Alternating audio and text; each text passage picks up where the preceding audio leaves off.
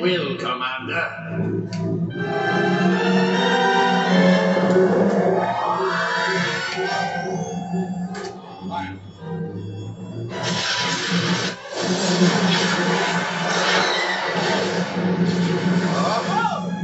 That blast came from the Death Star. That thing's operational. Home One, this is Gold Leader. It's all won't get another chance at this, Admiral.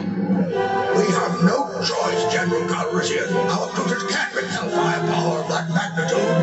And we'll have that shield down. We've got to give him more time.